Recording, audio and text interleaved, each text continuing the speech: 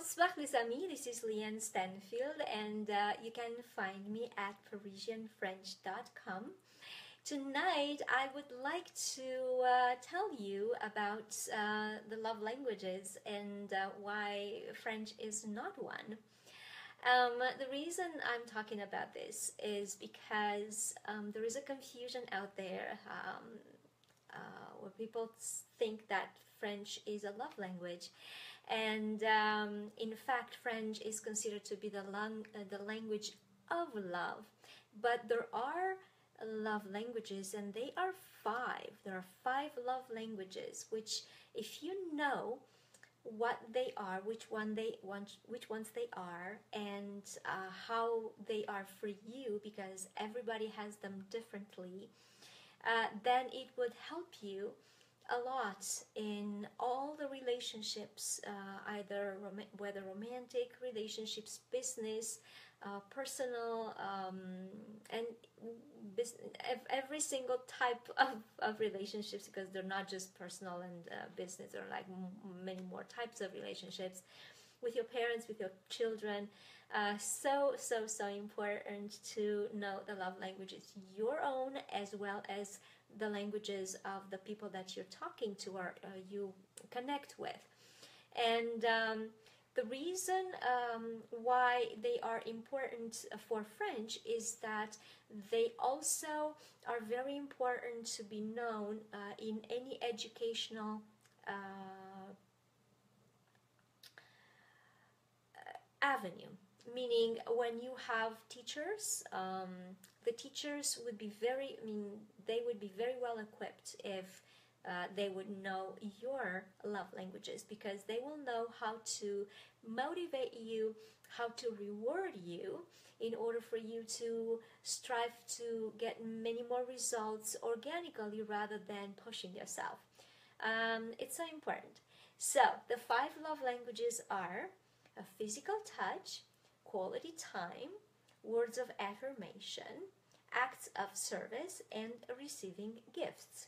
So, for instance, let's imagine that you are in a French school, French class, and you got a good result in a quiz. And so your teacher gives you, um, I don't know, one of those little stickers, um, and you collect them like they do for, for children, they do like in many places that would work very, very well, will motivate you very, very much if your love language would be the dominant love language would be receiving gifts.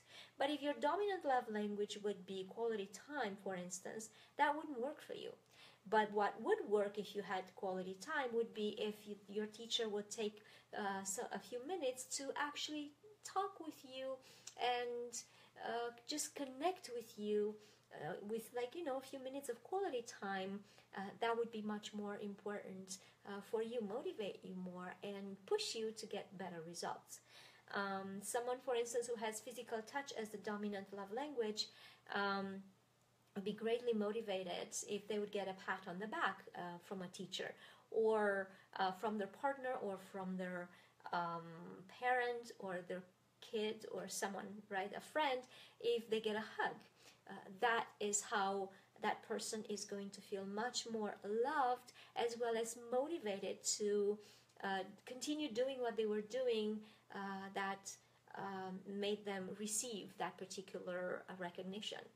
Um, so uh, it's that's what's so important about these love languages. There is a place uh, where you can find a quiz where you can find out what your what are your love languages, and it's so important to actually know. I actually had a little bit of a surprise. Um, many people have one dominant love language. Most people really have two love languages that would um, sometimes uh, swap as like the most like the dominant or the second dominant and the rest will be lower. Um, so it's good to know uh, for yourself uh, because in a relationship, for instance, you can tell your partner, I would prefer that you hugged me, or, you know, uh, when I don't feel well, for instance, right? Or I would prefer that you spend some quality time with me when I don't feel quite settled. So it's so important in communication relationships as well as in learning.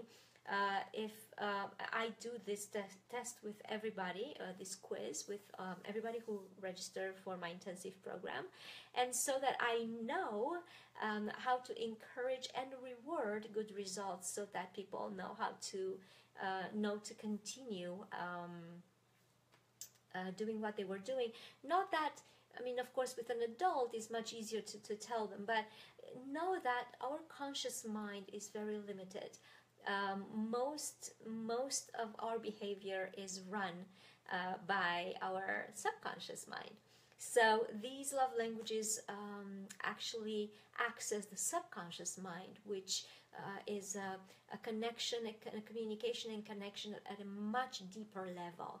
Uh, without words, uh, or sometimes with words if it's needed, but the specific way to connect with someone. And, and so that's going to help you learn French faster.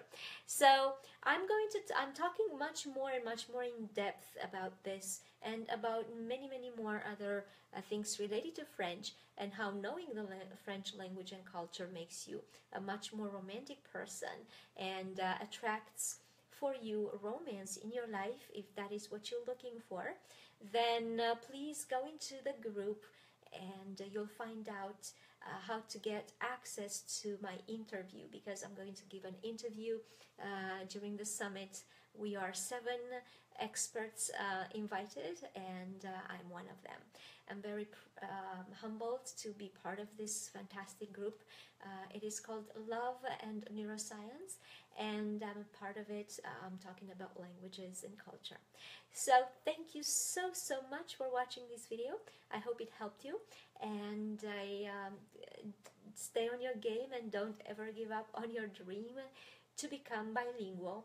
Learn to speak Parisian French and break your language barrier. Merci beaucoup et à demain. Au revoir.